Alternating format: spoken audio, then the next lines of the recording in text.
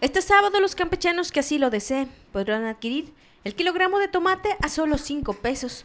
María Eugenia del Río, empresaria campechana, informó que en las inmediaciones del Consejo Coordinador Empresarial, productores de Kikap, Jopelchen, Calquini y Eselchacán venderán a bajo precio este producto, como una forma de ayudar la economía de los pobladores y eliminar la presencia de los coyotes.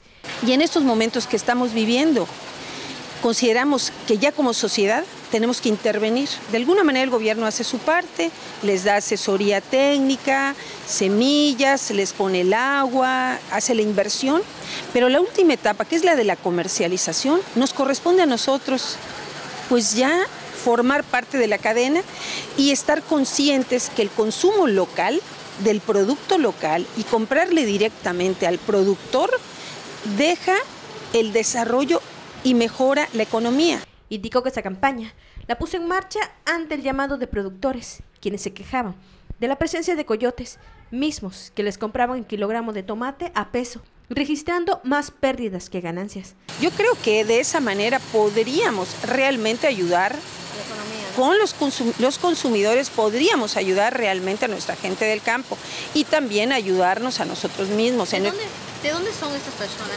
Estas personas son del municipio de Campeche, son varias comunidades, son del municipio de Campeche, vienen de Calquiní, creo que vienen de Copelchen también.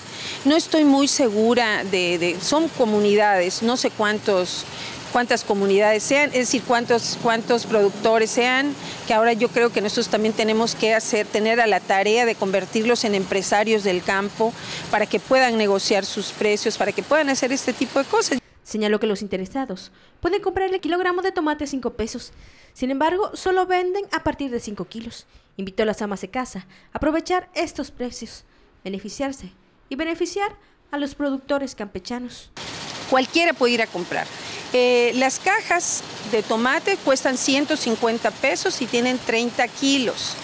Pero vimos en el ejercicio anterior que había gente que quería para sus casas y consideramos que de eso se trata, que las familias también se beneficien de este precio.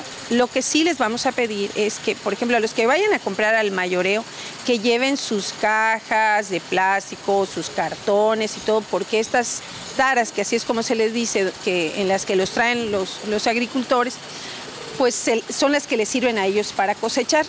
Con imágenes de Alejandro Borges, Elsie Martínez, Telemar Noticias.